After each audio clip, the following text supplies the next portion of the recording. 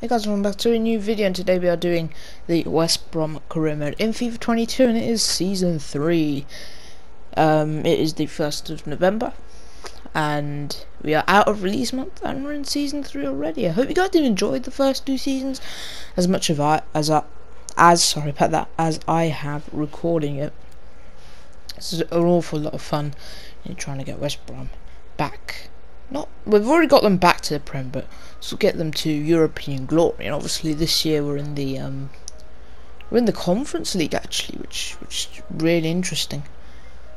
Because uh, it's obviously a new competition, both in real life and in the game. I've never played it before. This is obviously my, this is actually my first career mode on FIFA 22, as you guys know. So, never played the Conference League, never played the Champions League, never even played the Europa League. So, it's all a bit new. Now we started off getting a really good free agent signing in Divine. 19 year old, 74 rated Irishman. I wonder whose regen that is. Um, I want to say Seamus Coleman, but I think he's a bit too good to be Seamus Coleman re re regen. I, I, just don't know whose regen he would be. Um, went there for a Burnley left back, obviously Bowley. Kind of reminds me of Maxwell Cornet, who is a Burnley player because they're both from the Côte d'Ivoire um, and played for Burnley, so you kind of gave me Maxwell Cornet vibes, and both left back slash left wing, which yeah, I actually thought that somewhat of a link now. 76 rates are probably going to take over Cresswell's position. Obviously, he is what 13 years younger than Cresswell, um, so and the same rating, so and that's a huge advantage and he is hopefully going to last us the whole series. I think he will. I think him and Divine will. Um, just because they'll probably grow um, hopefully we can get into around 85 86 but um, yeah. Now I wanted to learn out Reyes only managed to score one goal last year I thought Ajax would be a really interesting move for him even though Ajax are technically a bigger club than us. Um, but yeah, uh, we also rejected a offer from Napoli uh, for Chalobah, who obviously on the bench as it stands, just because we moved to a four at the back system, where we don't need the three the three centre backs anymore. So it's between him and Dara because Andrade is just higher rated and younger than both of them. Went in uh, for Gilmour here. I was contemplating bringing back Gallagher, but I thought wanted to get Gilmour just because I never used him before in a career mode, and and he has a game face, which I really love. I love signing players with game faces, and I find find this sort of realistic as well. Considering on loan at Norwich right now, Norwich probably going to the Championship. What league are we in in real life? The Championship. So I felt sort of realistic move here. Don't think he'd ever come to us in real life. I think next year Norwich probably will go down. I see him going back to like a mid-table Premier League club on loan, not to to a team like us who right now it's not even certain if we'll go go up because of our um, loss to Fulham uh, the other day. Was it two days ago now? Three days ago? Still a bit disappointed for that and about that. Now you guys are probably like, no, why are you selling Callum Robinson? Well, 28, 78 rated. It's now never to really cash in for him. I wanted 23.5 million to start off with. 17.5 is what they bumped it up to, so I said, you, you can give us 19 and a half million and we'll let you have Callum Robinson and they accepted it. Bit of a risk, but we went in for someone who was at Real Sociedad. Bit business here with, with us and Real Sociedad. Real Sociedad. Um, yeah, so we sold Callum Robinson to them. He plays in the same position as. I, I really, I'm sorry, I'm, I do not know how to pronounce his name, so I'm just going to call him Ander because that's his first name. Um, so went in here for Ander, who plays in Robinson's position. Thought this is actually sort of realistic. If this happened in real life, just because Robinson taking his position. Robinson, they wouldn't sign Robinson just to be a bench player, would they? Because he's got a, an overall 78. So thought it'd be realistic they'd want to cash in from now, and we actually only had to pay around 26 million.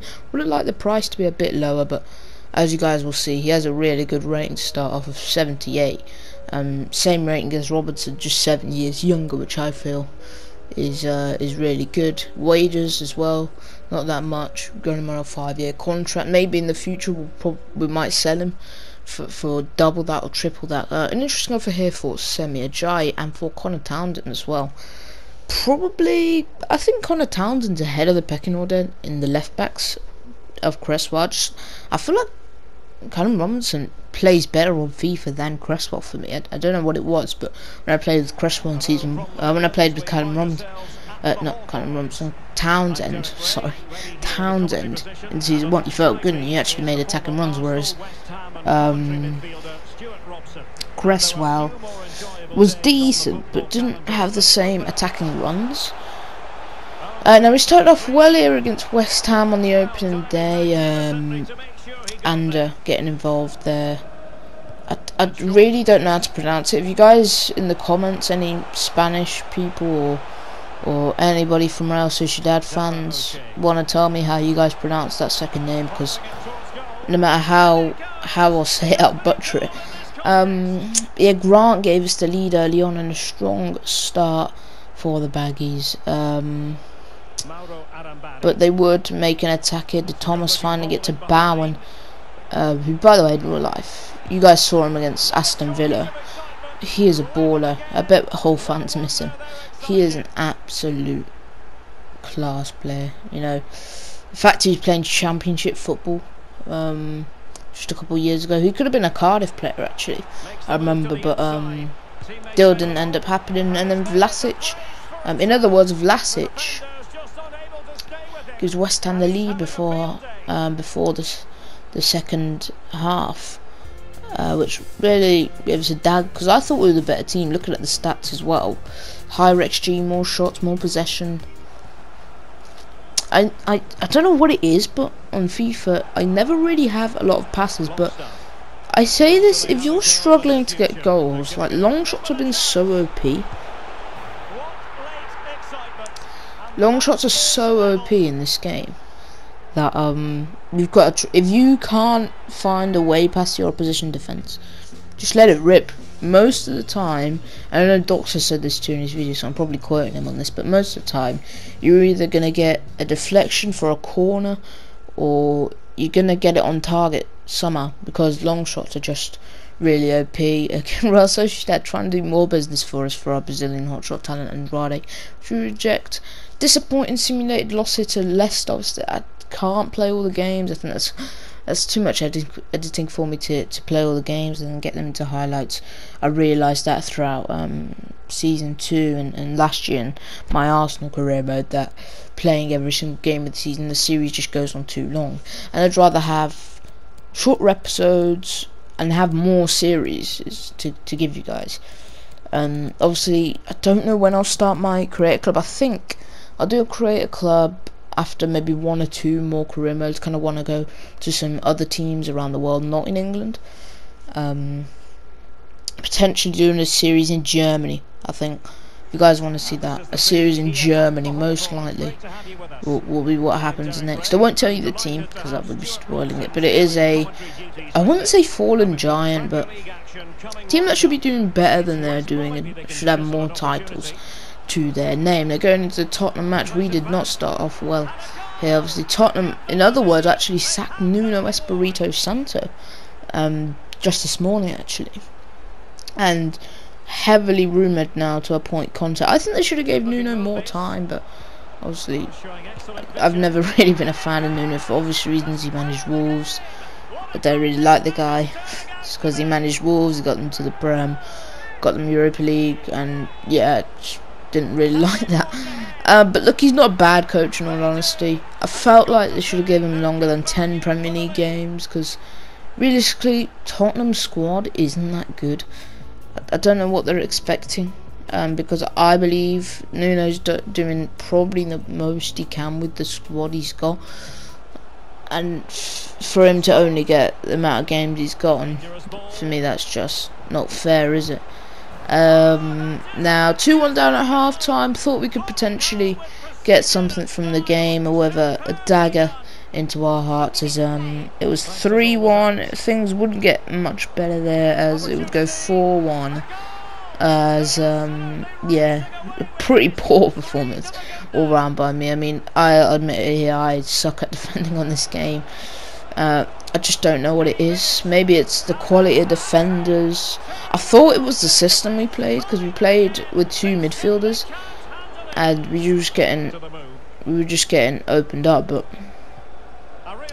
it isn't that because I've conceded five in this game. Um, but we can score. That is something we can do, especially with Grant and our team. Grant is just a quite a beast on this game. I just love using Grant on this game. Just feels so good.